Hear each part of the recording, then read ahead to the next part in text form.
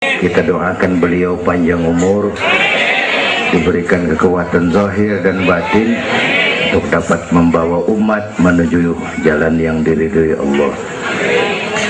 Saya makmuman saja sama beliau. Al iman nama akal. Ini Isra Mi'raj memang peristiwa yang hanya bisa diterima dengan iman.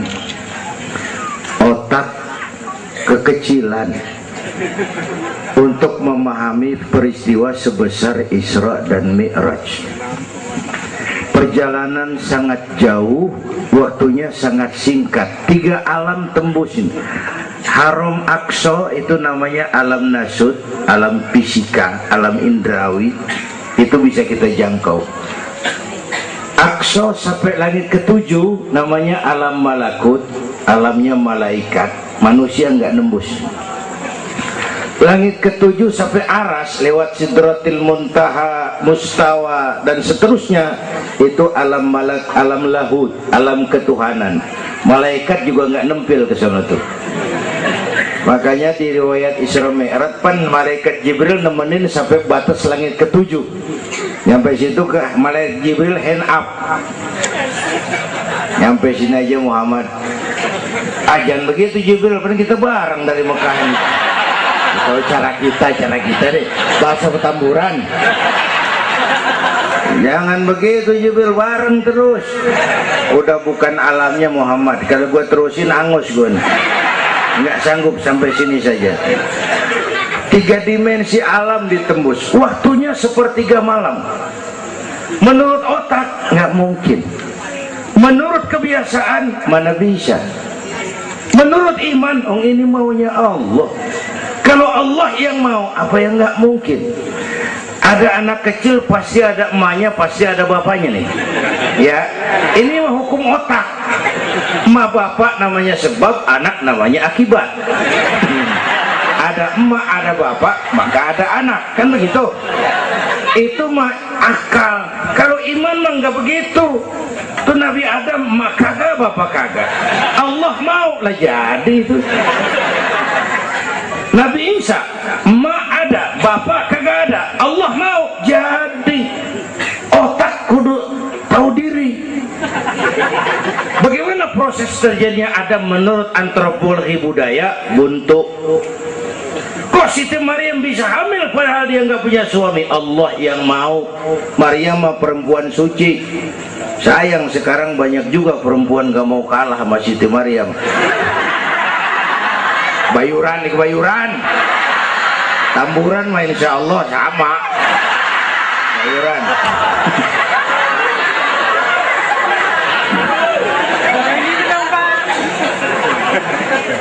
makanya tahun 80-an saya punya ungkapan ilmu bikin hidup jadi indah. Seni bikin hidup jadi indah. Ilmu bikin hidup jadi mudah.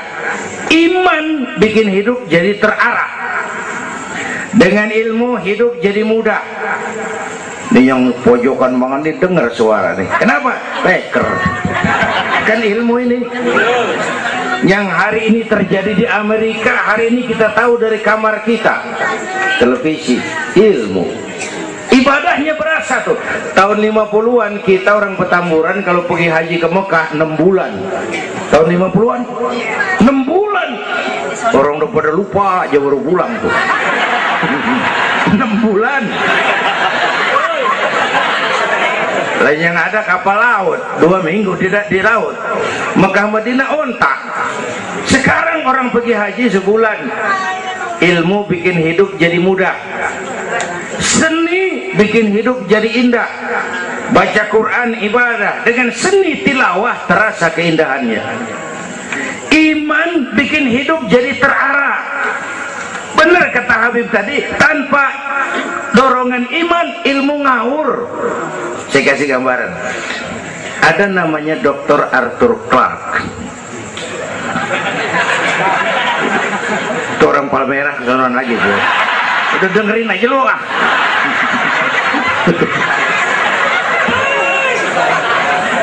Dia bilang begini nanti tahun 2010 manusia udah nggak tapi perlu sama guru.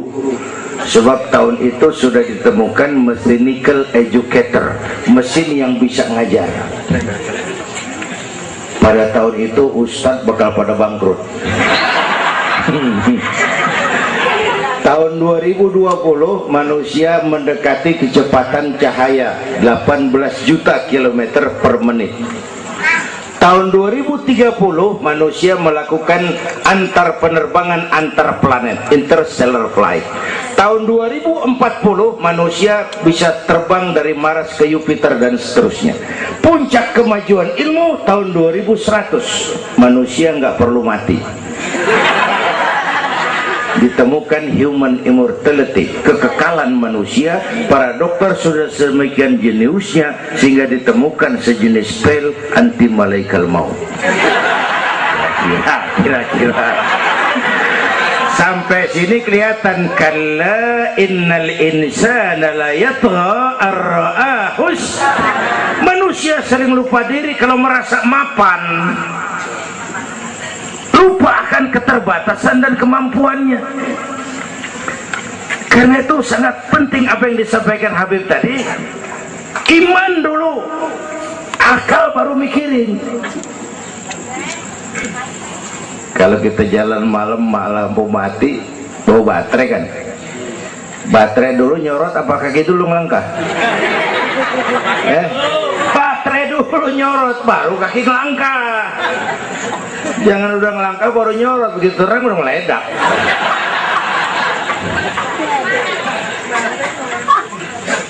Bapak Ibu hadirin yang saya hormati karena itu peristiwa Isra Mi'raj harus meningkatkan keimanan. Apa yang disampaikan Habib tadi itu betul buat kita sekarang ini. Ini kan zaman entertain nih.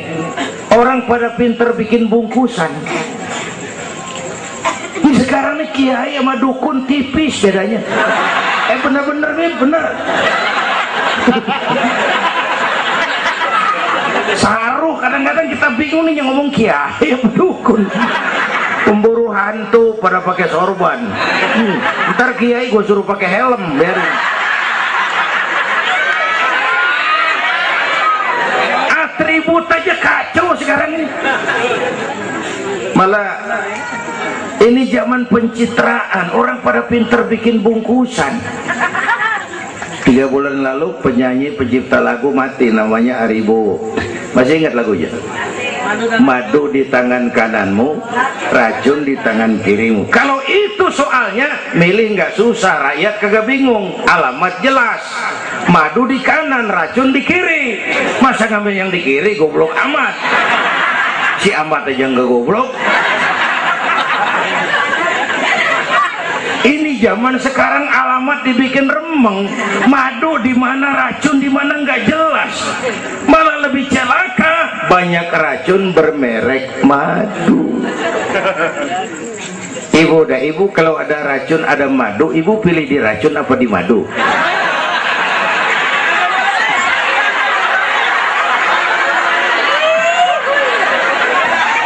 Dua-duanya racun gitu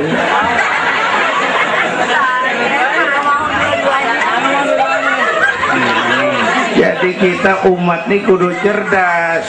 Jangan jauh dari ulama dari habaib dari taklim. Sekarang ini banyak minyak babi cap onta. Ya Allah. Kita terpesona lantaran mereknya cap onta gambarnya onta isinya minyak babi. Rakyat harus cerdas. Emas pasti kuning. Benar itu? Apa semua yang kuning pasti emas.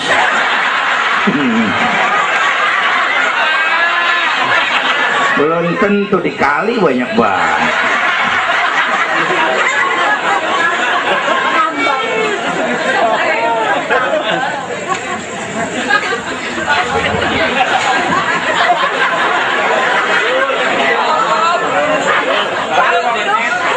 Bapak Ibu hadirin yang saya hormati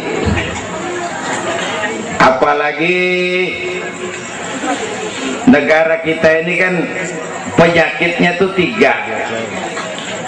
Kudis, kurap, kutil. Sumber penyakitnya satu kuman. Kudis kurang disiplin. Kurap kurang rapi. Kutil kurang teliti.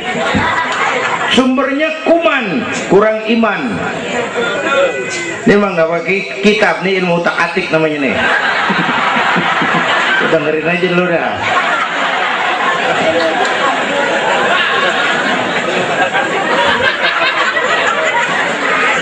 Yang pertama kudis, kurang disiplin. Ini bangsa disiplinnya rendah benar. Padahal Indonesia merdeka ini kan dengan keringat, air mata, darah dan nyawa. Disiplin kita nih korupsi susah diberantas. Kenapa? Petinggi kita disiplinnya takut atasan tapi nggak takut Tuhan. Persis kayak anak muda tengah malam ngebut naik motor. Wah, lampu merah nyodok terus. Dicegat sama polisi. Prit. Iya pak. Minggir. Siapa? SIM ada pak. SNK punya pak. Tahu lampu merah? Tahu pak. Kenapa jalan terus? Saya gak tahu ada bapak.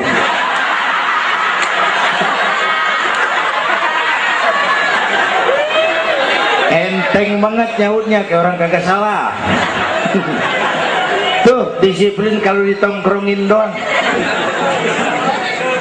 Semua syariat yang disampaikan Habib tadi muaranya disiplin kok. Syahadat apa? Disiplin akidah. Kalau kita punya disiplin akidah, bodoh ada apa kek? Yang penting disiplin. Saya bersaksi tidak Tuhan selain Allah. Saya bersaksi Nabi Muhammad utusan Allah. Nabi terakhir. Tidak ada nabi sesudah Nabi Muhammad. Harga mati titik. Ada yang ngaku jadi nabi wajib tidak percaya. Disiplin. Jenggotnya panjang pak. Masa bodoh? Mau sorbannya kayak Batman kagak ada urusan.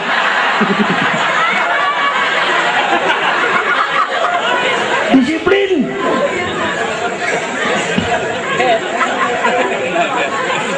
sholat disiplin waktu. Prajurit kalau sehari malam lima kali wajib lapor komandan. Masa mau lapor yang nggak bener?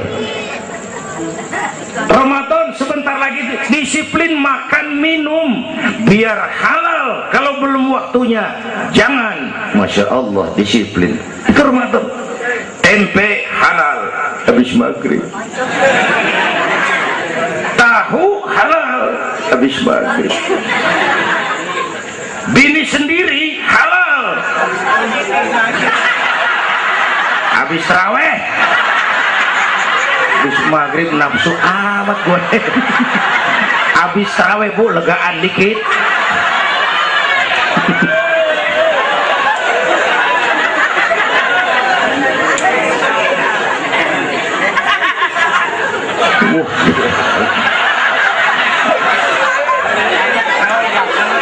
eh dulu pertama perintah puasa turun sahabat nyangka siang malam nggak boleh bergaul sama bini. Ada yang nyerempet-nyerempet. Asal zohor kumpul di masjid Madinah pada kongkok tuh. Yang atuh ngomong lain malam gua nggak tahan lu. Terus kejadian sama bini gua. Yang pojokan nyaut gua juga. Nah banyak rupanya turun penegasan Allah uhilla lakum lailatas siyami arrafasu ila nisaikum. Dihalalkan bagi kamu pada malam puasa bergaul dengan istrimu. Kenapa? Allah tahu kebutuhan kamu. Yang nggak boleh cuman siang malam boleh. Kalau siang kagak boleh malam kagak boleh. Sebulan suntuk apa nggak rontok rambut? Kira-kira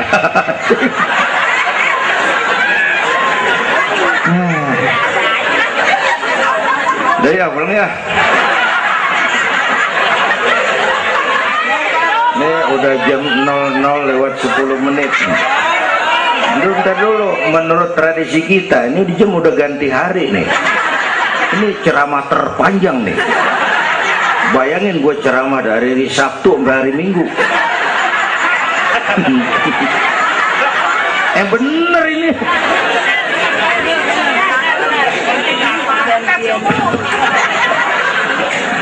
Kudis. Kurang disiplin. Tapi udah sering jelasin sama kita ini Indonesia ini aneh bang. Pasar bagus apa aja laku. Coba lihat Indonesia asal ada, ada nabi baru tuh ada aja yang ikut heran banget itu bener pasar bagus. Ada aliran aneh ada aja yang masuk